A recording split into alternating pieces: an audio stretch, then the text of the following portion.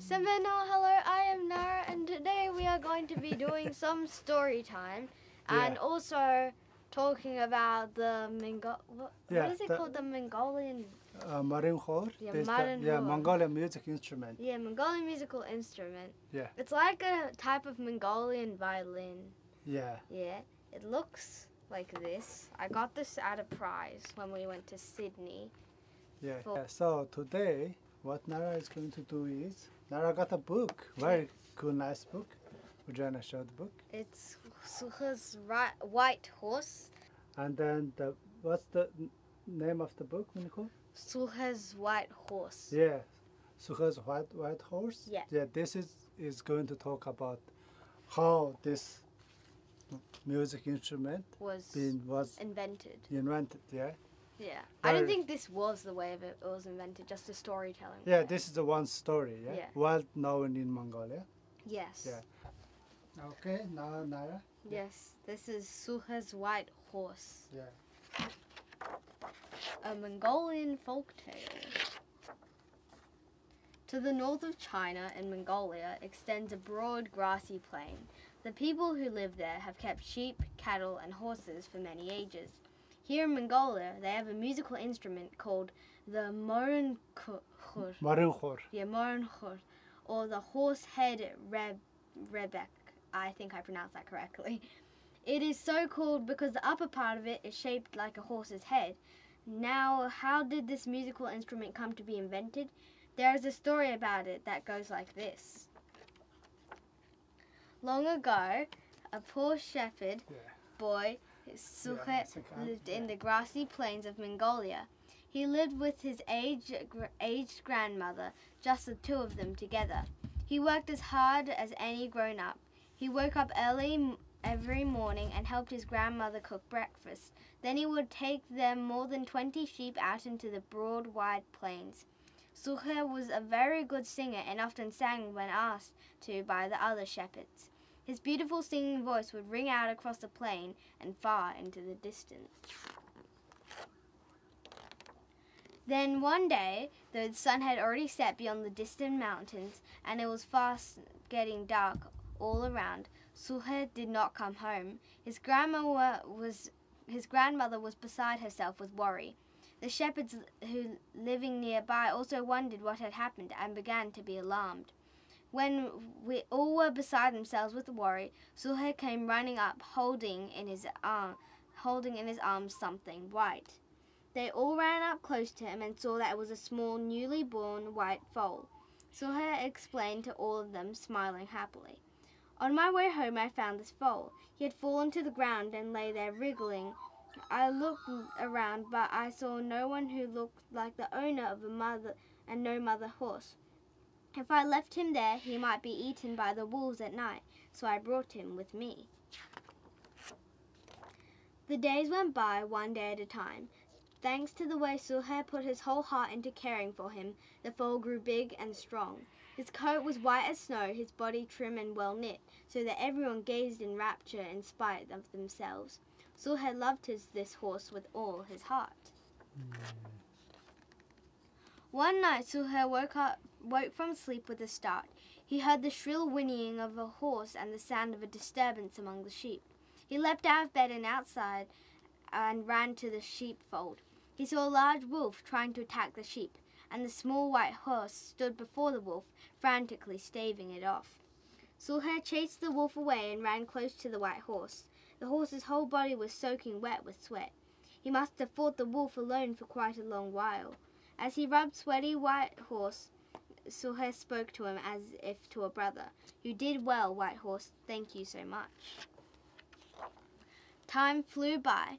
In the spring of a certain year, word spread all over the plains. The Noyon, or local ruler of those parts, was having a horse race in town, and the man who came in first was to marry the Noyon's daughter. When they heard this message, his fellow shepherds urged Suche by all, by all means try riding the white horse in the race. So he got on his beloved white horse and crossed the broad white plain, heading from the town where the race was being held. This is a picture of the town. At the racetrack were gathered a great many spectators. The Noyan had en- ensconced, uh, ensconced uh, I hope I pronounced that right, himself on a dais. The race began. Strong young men come together from all over the country, flourished their leather whips as one. The horses ran as if they flew, and in the lead was the white horse. The white horse with Sucher on him. The white horse came in first. Bring me the rider of the white horse, the Noyan cried. But when he looked at the young man they brought to him, he saw only a poor shepherd. So the ruler pretended to know nothing of his promise to make him his son in law, and said, I will give you the three pieces of silver. Leave that white horse here and get back to where you came from fast. Suher lost his temper, and forgetting himself, answered back, I came to race my horse, not to sell him. What, you miserable shepherd, how dare you cross me? Men beat him up good. The Noyan exploded, and his retainers all set upon Suher, who was beaten and kicked by many men and lost consciousness. The ruler took the white horse away from him, and accompanied by his retainers, left proudly. Suher, helped by his friends, barely managed to make his way back home. Suher's body was all cuts and bruises. His grandmother tended him day and night. Thanks to her, after some days had passed, his wounds began to heal. Even so, the sorrow of having had the white horse taken from him would not fade, no matter what. I wonder how the white horse is doing, Suher thought of nothing else. What had happened to the white horse? The Noyan felt really good at having gotten hold of this superb horse, and having done so, he wanted to show, off, show him off to everyone. Therefore, one day he invited many guests over and gave a drinking party. Now he had decided that in the middle of this party he would ride the white horse for the first time and show him to everyone. His retainers led the white horse in. The Noyan mounted the horse. Then it happened. The white horse leapt up with fearsome energy. The ruler rolled, rolled off him down onto the ground. The white horse shook the reins out of his hands and began to run like the wind through the screeching crowd. The Noyan, struggling to get up, roared loudly at all around him. Quick, catch him! If you can't catch him, shoot him to death with your bows and arrows. His retainers drew their bows taut and let fly altogether. The arrows whistled as they flew. One after another, they sank into the back of the white horse. Even so, the white horse kept on running. The same, the same, that same night, as Suher was about to go to bed, suddenly there came sound from outside. Who is it? he asked, but there was no answer. Clack, clack, clack. The sound continued. His grandmother, who had gone outside to see what it was, let out a cry. It's the white horse! It's our white horse! Suher leapt up and ran out. He looked and saw that, in fact, the white horse was really there, but there were ever so many arrows stuck, stuck in his body, and the sweat flowed as if from a waterfall. The white horse was young and had ran and ran and ran even with those awful wounds. He had come home to his beloved Suher. Suher gritted his teeth and, forcing himself to bear the ache, pulled out the arrows that were stuck in his horse. Blood spurted from the wounds. White horse, my dear white horse, please don't die. But the white horse was thoroughly worn out. His breath gradually became faint and the light faded from his eyes. The next day, the white horse died. For sorrow and chagrin, Suher could not sleep for many nights. Then finally he do- dozed off one night. He dreamed of the white horse. Suher stroked him, and the white horse rubbed his body up against his master, and he spoke gently to him. Don't mourn, sir. It would be better to make a musical instrument out of my bones, hides, sinews, and hair.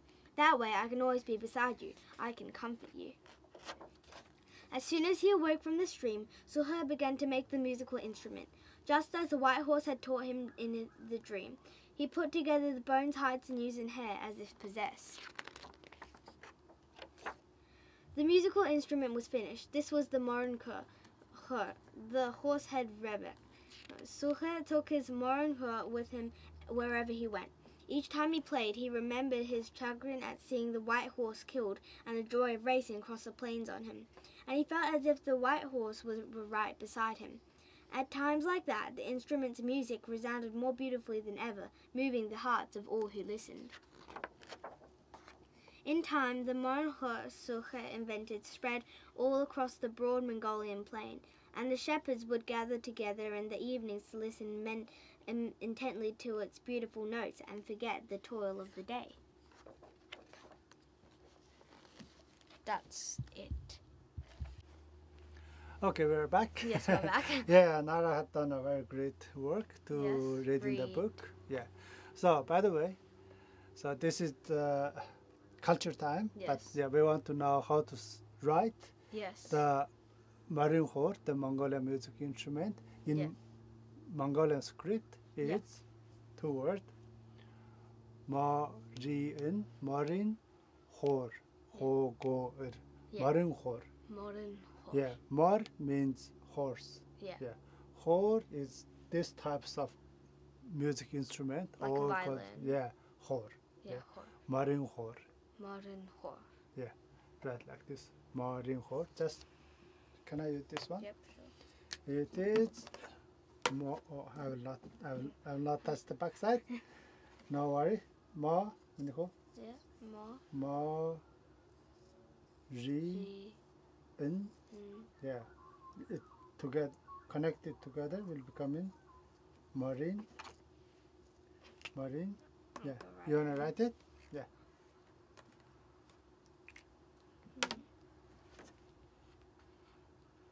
Oh no, not a tooth. I'm so used to doing a tooth.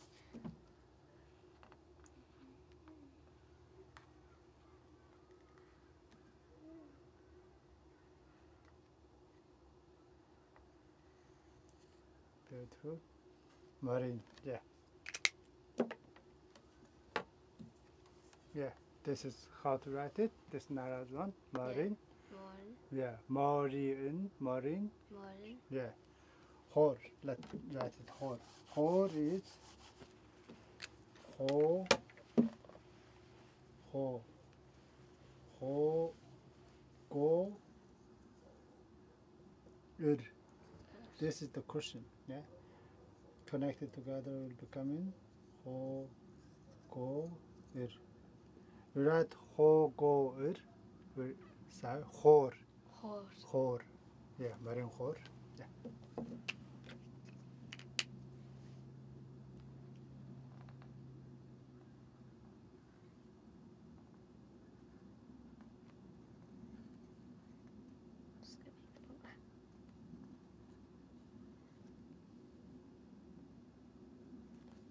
Yeah. Okay. There. That. Yeah, hor, ho, go, ur, hor, Horde. hor. Horde. Okay, so Yeah. all done. Yeah. And Yeah. bye. Yeah, this Nara made a special bye. Yes. Birthday. Bye, Dad. Yeah, see you next time. Bye.